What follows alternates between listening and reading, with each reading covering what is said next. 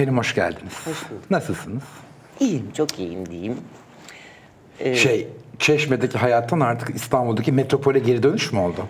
Evet, yani zaten hep öyle istiyordum. Bir ayağım orada, bir ayağım burada olsun istiyordum. Şimdi de dolayısıyla e, işte Ocak, Şubat gibi kışın geçtiğimiz Şubat'ta İstanbul'a taşındım. E, ama bütün yaz oradaydım. Dün geldim. Neresi Şimdi daha iyi? Buradayım. E, ya iki tarafında ayrı bir tadı var gerçekten. Avantajları ve dezavantajları var. Yani ben İzmir doğumlu olduğum için zaten hani çocukluğum da o bölgelerde geçti. Ee, hep o tarafa bir özlem vardı bende. Ama İstanbul'da tabii yani 13-15 yaşından beri İstanbul'dayım. Dolayısıyla buranın bu temposu da beni kendine aşık etti. Ee, orası da çok ağır kalıyor. Böyle dengelenmiş gibi hissediyorum şu anda. Mesela ben Ayvalık'tan buraya gelmeyi hiç istemem. Biliyorum çok Hiç izliyorum çünkü sizi. Evet. Siz Hiç, çok burası hiç aklıma orada. bile gelmiyor. Ama aklınıza geliyor ki arada geliyorsun. Ama çekim yapmaya geliyorum. Zorunlu E, mecburen işte, ben de gördün- yapacağım. Nereye gördün derseniz bir, bir stüdyoyu görüyorum. Bir kaldığım oteli görüyorum. Burası orası bitti. E tamam. Zaten başka bir yere gitmek için trafik Aynen öyle, müsaade etmiyor. Aynen öyle. Şimdi biz Google bilgileriyle sizin hayatınızın kısa bir belgeselini yaptık. Ee, Google bilgilerinde hatalar olabiliyor biliyorsunuz. Lütfen yanlış olan yerlerde belgeseli durdurun ve bize doğrusunu anlatın. Ya da evet bu böyle ama size hesap mı vereceğim? Ben canımın istediği gibi yaparım. Size de hesap vermem deyin. Tamam. Ee, belgesel seyrederken ben size cappuccino ikram edeceğim. bugün. Harika. Çok Seviyor teşekkür musunuz? ederim. Severim. Tamam. Hem de e, böyle tek tuşla basacağım ve bir, bir tuşla iki tane yapacağım aynı anda. Çok güzel.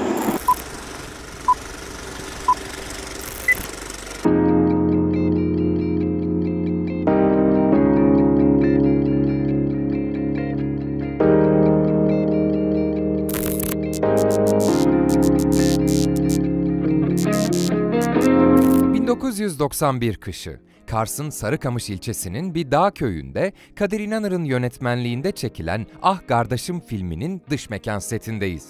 Filmin oyuncu kadrosu içerisinde ilk beyaz perde deneyimini yaşayan henüz 17 yaşındaki Ece Uslu da var. Genç oyuncu o gün çekilecek sahnede senaryo gereği üzerinde bir hırka, ayağında lastik papuçlarla karlar içinden koşarak Levent İnanır tarafından canlandırılan sevgilisine kavuşacaktır. Uslu dondurucu soğuk altında uzayan çekimlerin sonuna kadar dişini sıkarak işini yapmaya devam etse de paydos sesinin duyulmasıyla birlikte kendini bırakır. Set ekibi donma tehlikesi yaşayan genç oyuncuya acil müdahalede bulunurken o yaşadığı acının etkisiyle ağlama krizine girer. Oyunculuğun pek de gösterilmeyen bir tarafını ve ne kadar zor koşullar altında icra edilebilen bir iş gücü olduğunu gösteren böyle bir olayı daha ilk film setinde yaşayan Uslu, çalışkanlık ve dirayetle setler arasında mekik dokuyacağı meşakkatli yıllara ilk adımını atmıştır. 9 Eylül 1974 yılında İzmir'de tekstil Bir durabilir miyiz? E, Buyurun. Ee, O günü hiç unutmam Ee, çünkü gerçekten çok zordu. Ee, Eksi 40 derecede çalışıyorduk biz orada. Ekibin hatta e, sakallarının bembeyaz böyle sarkıklarla, buzlarla do- doğduğunu hatırlıyorum. Ama tabii ki oranın şartlarına e, göre yaşayan e, halkı, çocukları yalın ayak dolaşıyorlardı karda. Bir şey çok alışkın oldukları için. Şu çok garip geldi bana. Şimdi sizin ilk deneyiminiz. İlk sinema, evet. Ama, ama acayip de bir disiplin mesela. Hani benim ilk sinemada olsa ben üşürsem kıyamet kopartırım. Üşüyorum ben buna bir çare bulun derim yani. Şöyle bir şey de olmuştu anlatayım bu bundan ayrı ama ilk önce bunu bitireyim isterseniz. Ee, bizim set bitti yani daha doğrusu o sahnemiz bitti. Ee, bayağı 2-3 saat falan da herhalde yanlış hatırlamıyorsam. Sonra kızakla aşağı indik. Beni direkt köy evine soktular sıcacık. E, dolayısıyla o çok tehlikeli bir şeymiş tabii. Aslında ayakları buzla ovarak açmak gerekiyormuş. E, direkt girince gerçekten çok acı çektim. Bir tane daha sahnemiz vardı. E, selam olsun buradan Kadir İnanır'a. Ben de e, işte köyde sevgilimle buluşacağım. Anneme yalan söyleyeceğim. İşte şurada böyle kovaları var ya suyu boşaltıyorum. İşte yalaktan su dolduracağım. Sevgilimle buluşacağım gizli gizli. Ondan sonra da bu sahne çekiliyor işte devamında. Ee, Ona attım fakat üşümesin diye ellerim donmasın diye şöyle hareket ettiriyordum. Yönetmenimiz de o zaman Kadir İnanır çok kızdı bana. Kendisi de karşımda apreskileri giymiş, işte kalpakları takmış, hiç sadece gözü gözüküyor. İşte böyle olur mu dedi, köylü kızı böyle olmaz dedi, o ellerini böyle böyle yapma falan dedi. Çok sinirlenmiştim gerçekten. Bir de ilk böyle profesyonel set deneyimimde o elimdeki, e, sırtımdaki kovayı alıp böyle fırlattığımı hatırlıyorum. O zaman lütfen gelin siz dedim bu şekilde, bu kıyafetlerle yapın. E, çünkü onu dinliyordum da bir yandan. Böyle de bir şey... Bir de o Kadir inanır yani. Evet ama ondan sonra beni daha çok sevmişti kendisi. Öyle mi? evet. Ben hemen kahvenizi vereyim. Çok teşekkür ederim. Afiyet olsun. Bir de kendime. Ama yine de şey mesela şimdi siz de biliyorsunuz dizi setlerinde hava birazcık soğuk olduğunda hemen yok termal çorabımı getirin. Yok bana Artık bilmem ne alın rahat. diye başlıyorlar ya. Eskiye göre yine çok rahat ama yine çok zor tabii ki. Gerçekten çok zor. Acayip bir disiplinmiş. Vallahi tebrik ederim. Buyurunuz. Tekstilci bir anne ve ticaret sektöründe çalışan bir babanın çocuğu olarak dünyaya gelen Ece Uslu'nun kameralarla yoğun teşriki mesaisi o henüz bebekken babasının çektiği fotoğraflar ve 8 milimetre Pardon. Duralım. başlar. Babamın çektiği fotoğraflar değil, babam da çok meraklıydı. Hatta böyle 8 milimetrelik eski filmlerimiz de oluyor ama hiç adını geçmeden edemeyeceğim. Benim manevi babam dediğim rahmetli Esen Akyunt. Onun karanlık odası vardı. Aslında onun sayesinde çok faz- fazla fotoğrafım olmuştu benim. Kim Esen Akyurt? Esen Akyunt e, aile dostumuzdu aslında. Ama o da bana, ben de ona çok düşkündüm. Çok severdik birbirimizi. Fotoğraf merakı vardı onun da. E, benim çocukluğuma dair birçok fotoğrafımı da kendisi çekmiştir. Buyurunuz. anne babasının ileride bir anı olur diye bir fotoğrafını gönderdikleri Çocuk Güzeli yarışmasının sonucu olarak ilk kez bir gazetede fotoğrafı yayınlandığında henüz 2 yaşındadır. En büyük hayali balerinlik olan bu güzel çocuk ortaokul çağlarına geldiğinde İzmir Konservatuvarı'nın bale sınavlarına girmek ister. Şimdi bir şey söyleyeyim. Es- Esra Sayıbaşı yazıyor orada. O başka bir bebekti galiba. Değil mi? Evet. O altındaydı galiba benim ismim.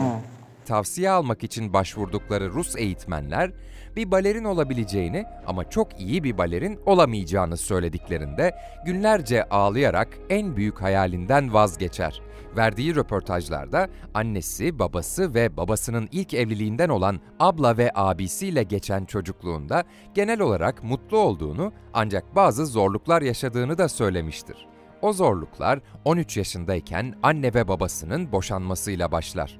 Ece yeni bir hayat kurmak isteyen annesi Nazan Hanım'la beraber İstanbul'a taşınır. Ortaokula devam ettiği sırada... Durabilir miyiz?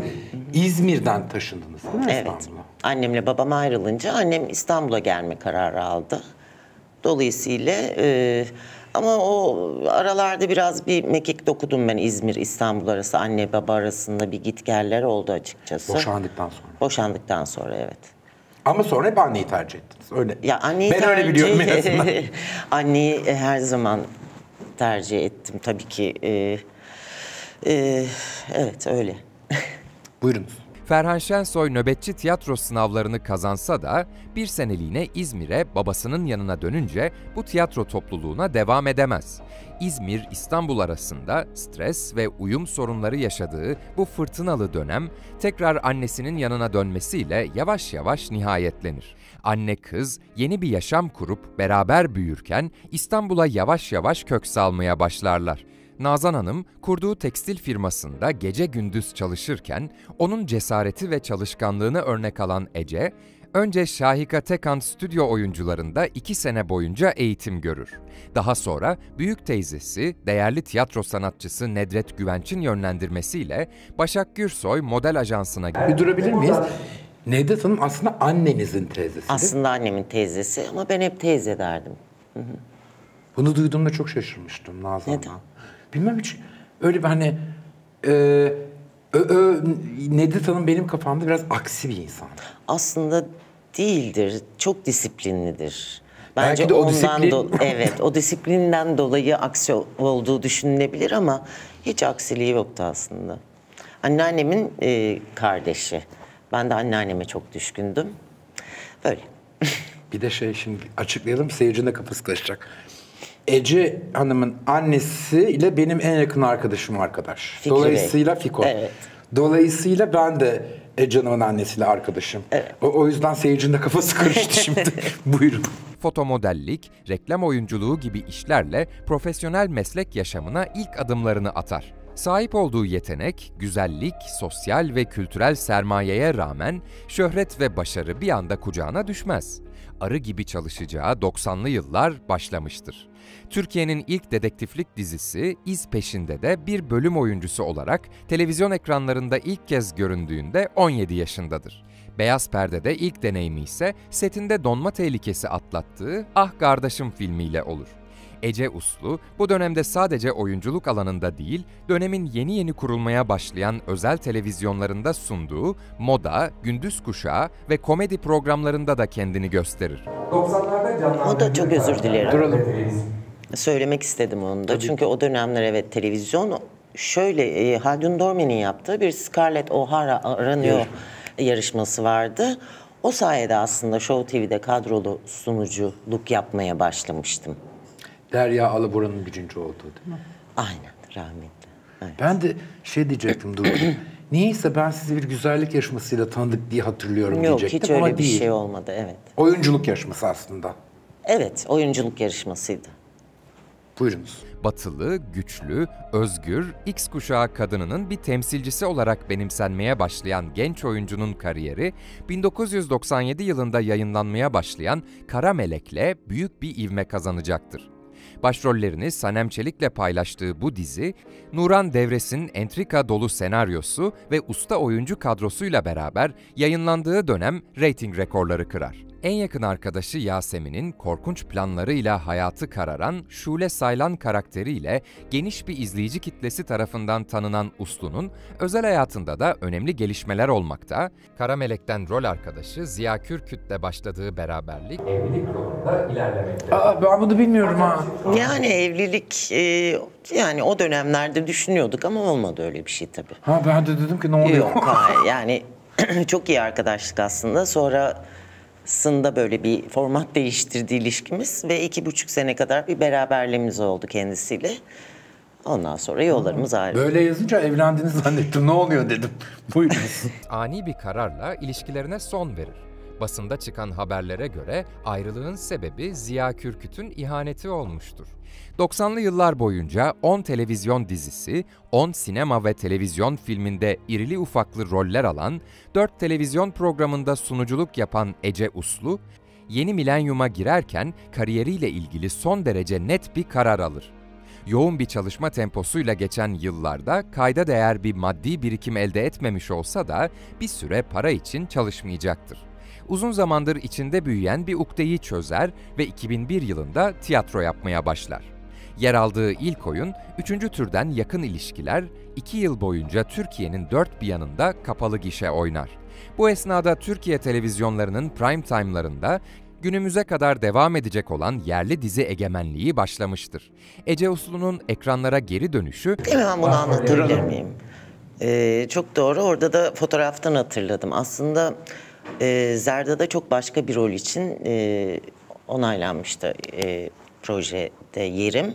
Fakat son dakika e, tekrar beni yapımcı e, şirket çağırdı. Bir görüşmek istiyoruz diye. Eyvah dedim yani uzun zamandır zaten dizi yapmıyorum. Hani bu işi kaybetmem umarım. Hani bana güle güle mi diyecekler diye gittiğimde bana dediler ki bu sen misin? Evet. İşte biliyoruz sen bu e, bu halinle biz seni zerde olarak istiyoruz. Nasıl? Falan başka çünkü kısacık ve sapsarı saçlarım vardı o zaman.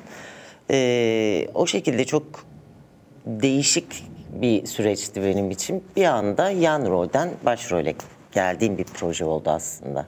Kimdi yapımcı? O da saçlarım e, Erol Avcı'ydı. İlk dizisiydi zaten Zerda. Acayip bir gözü varmış. E, senaristlerin. Üç tane e, senaristimiz vardı kadın.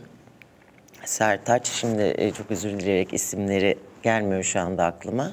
Onlar görmüş benim eski o Başak Gürsoy'daki saçlarımı. Ben de dedim ki nasıl dedim bu hale getireceğiz? Biz öyle yapacağız, böyle yapacağız. Bu işi halledeceğiz dediler. Gerçekten de e, uzun bir sene yani bir sene boyunca o perukla oynadım. Çok zordu gerçekten o perukla da oynamak. Ama Bravo vallahi acayip bir gözleri varmış. O dönem içinde bence harika bir peruktu gerçekten. Çok hiç belli değil. Ben de kaynak mı yaptılar diyecek. Yok, Şuradan sadece kendi saçımı çıkarıyordum minicik. Buyurun. Bir yanda sevdiği adam, diğer yanda ağalık sistemi ve töreler arasında kalmış, inatçı ve mücadeleci Zerda karakterine hayat verir. Yayınlandığı dönem reyting sıralamalarında birinci olan dizinin ilk sezonundan sonra Yavuz Bingöl'ün kadrodan ayrılması çeşitli spekülasyonları beraberinde getirecektir. Zerda ve Şahin Ağa çiftinin gerçek hayatta iyi anlaşamadıkları, Bingöl'ün Uslu'dan daha az ücret almasının sorun çıkardığı ve ayrıca türkücü olan Yavuz Bingöl'ün dizinin tiyatro kökenli oyuncuları tarafından dışlandığı iddiaları basında yer alır. Ancak Uslu ve Bingöl hem daha sonradan yaptıkları açıklamalarla hem de yıllar sonra tekrar bir araya gelecekleri Karagül dizisiyle bu iddiaları yalanlayacaklardır. Zerda'nın çekimleri 2 yıl boyunca Gaziantep'te sürmüş, bu süre boyunca bir otel odasında yaşayan ve haftanın 6 günü çalışan Uslu, sürecin sonunda Türkiye'nin en çok tanınan ve en çok kazanan dizi oyuncularından biri haline gelmişti. Bir dakika duralım mı? Bu benim hep çok merak ettiğim bir şeydir. Oyuncu olmakla ilgili. Yerleşik bir düzeniniz var. Bir rol geliyor.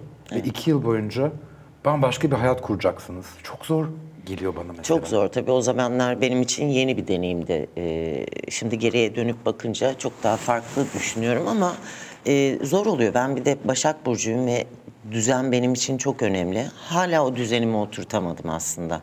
Çünkü genelde de sonrasında da e, Karagül'de 4 sezon sürdü. Yine Antep'te, yine aynı otel odasında. Ee, o biraz zorluyor, evet çok zorluyor. Hatta e, işlerin bu kadar uzun gitmesi e, bence oyuncular olarak bizim psikolojimizi de çok etkiliyor. Çünkü hmm, düşünsenize 4 sezon boyunca aynı karakteri canlandırıyorsunuz.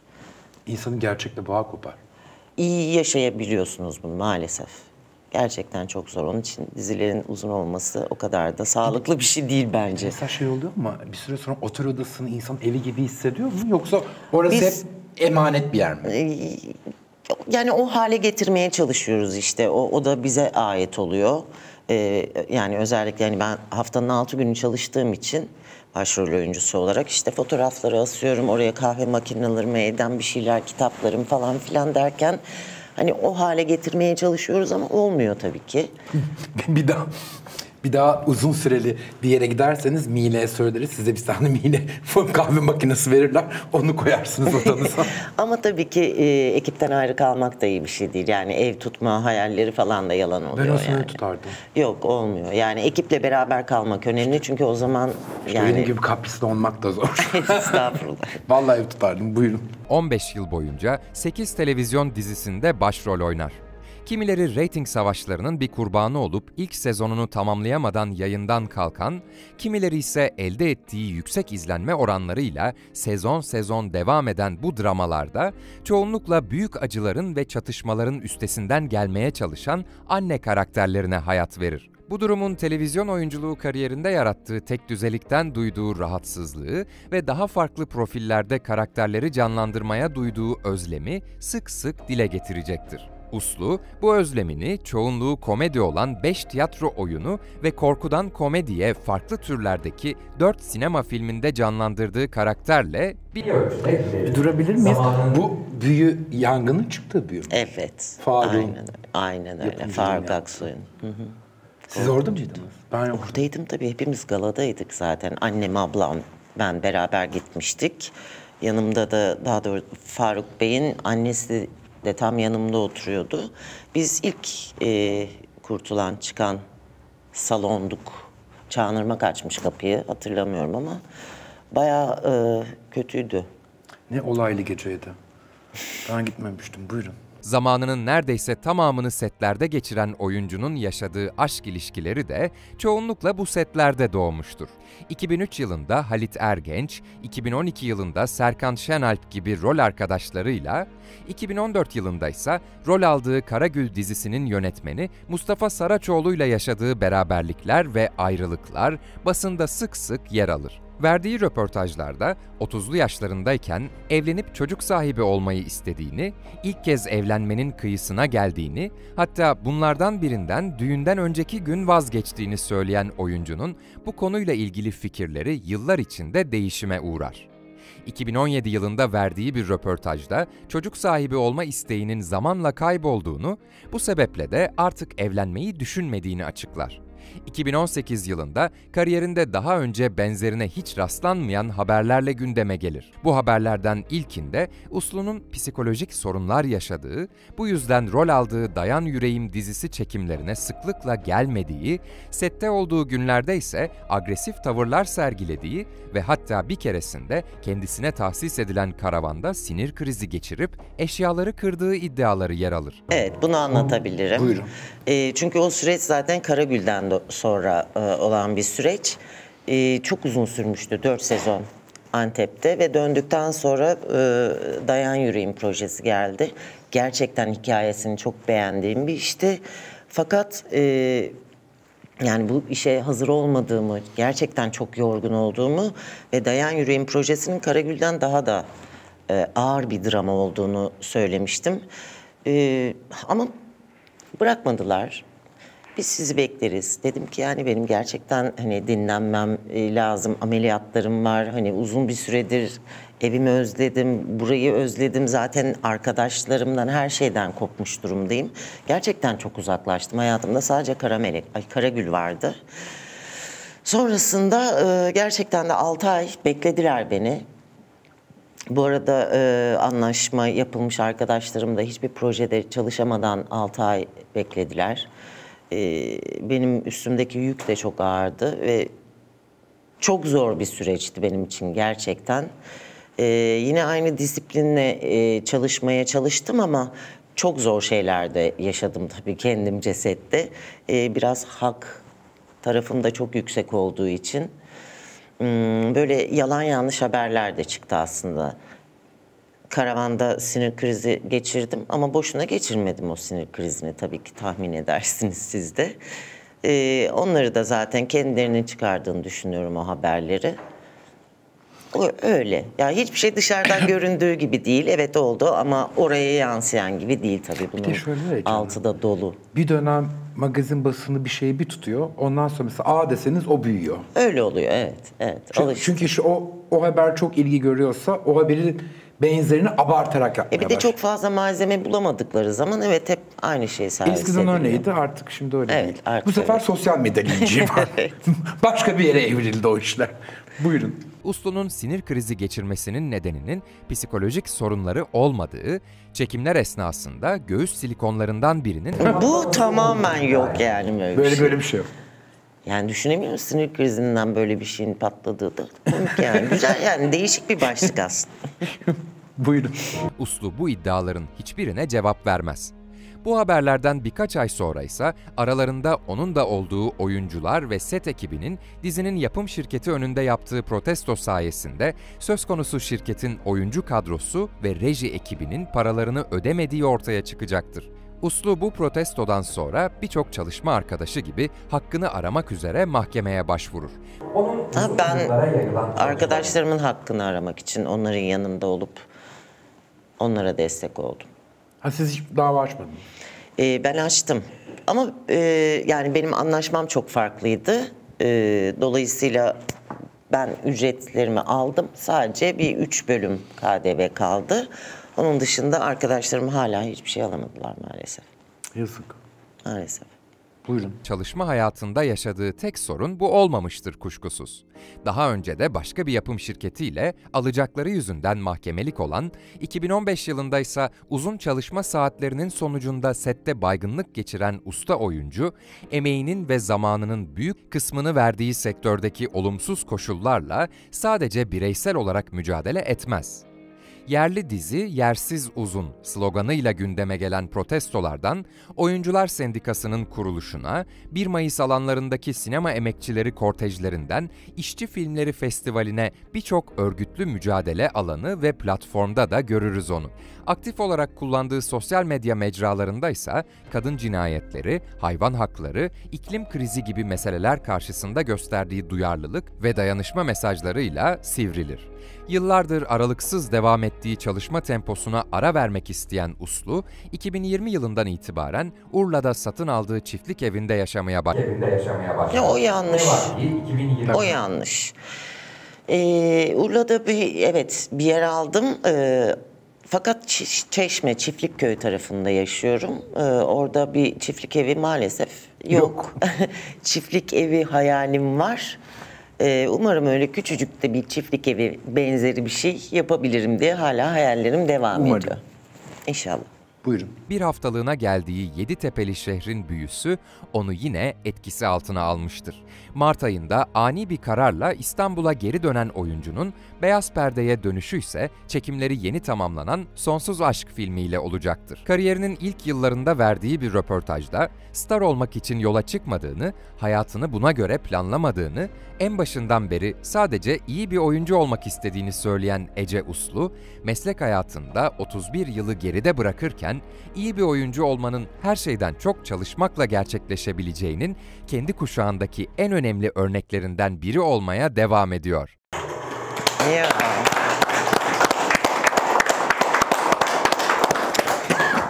30 yıl oldu mu ya? Olmuş çok erken yaşta başlayınca evet. Çok teşekkür ederim bu arada. Rica ederim. Gerçekten çok hoşuma Şey, gitti. sanki siz daha dün ünlü olmuşsunuz gibi geliyor bana. Ne güzel ne mutlu öyle anım sanıyorsam çok teşekkür Vallahi ederim. 30 yıl çok zamanmış. Ee, işte 15-16 yaşlarında piyasaya girdim. Çok minik minik minik minik başladım hep. Ee, böyle Yeşilçam'ın ucundan yakaladım. Çok e, değerli e, insanlarla çalıştım. Daha sonra işte Kara Melek projesiyle böyle bir patlayınca zaten dizi sektörü de ondan sonra bir hız aldı biliyorsunuz.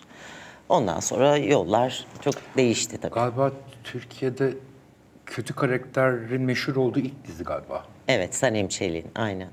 Güzel güzel bir işti. O dönemine göre gerçekten çok güzel bir işti. Cesur da bir işti. Çok. Ama tuttu mu o da 4 sezon gitti. Sizin Çok öyle bir özelliğiniz var değil mi? Hep uzun sizin işleriniz. Maşallah diyelim. Ama yani çok yorucu. evet doğru. Yani daha doğrusu aslında süreler de uzun olunca hepsi birbirini katlıyor tabii yani.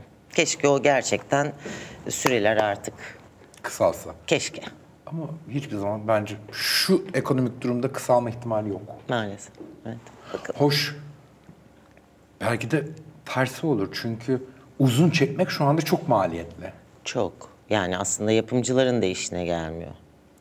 Ama şey sektör sorunu konuşuyorum. Evet. Ama onlar e, atıyorum 120 dakika çekip dışarıya bir bölüm tabii 3 bölüm üç bölüm, çekiyorlar. dört bölüm. Böylece Bazen ek sahneler geliyordu bize niye ki falan diye düşünüyorduk. siz de kazık yiyorsunuz. Maalesef öyleymiş evet. Peki. Geldiğiniz için çok teşekkür Ben ederim. de çok teşekkür Çok ederim. keyifliydi. Çok teşekkür ederim. Size de ekibinize de e, teşekkür ederim. Sağ olun. Elinize çok sağlık. teşekkür ederim.